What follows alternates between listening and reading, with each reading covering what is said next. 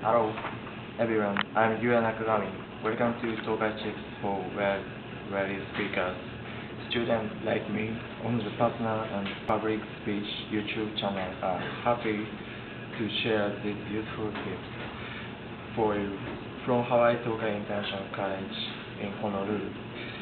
When, talk, uh, when talking on the telephone using English here are some recommendations that I think you will find helpful.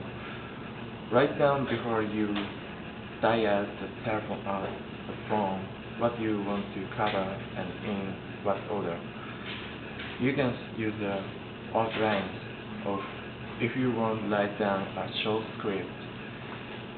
Speak slowly and pace yourself with the person you are speaking with. Always be polite and friendly. And finally, smile. Yes, you should smile when you are on the phone.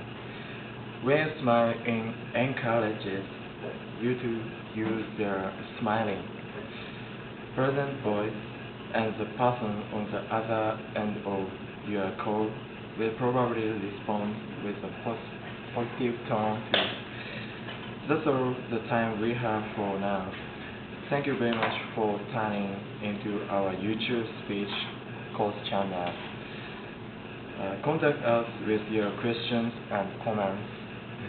Remember to look for us on the web at www.hawaiitokai.edu. Aloha and see you soon.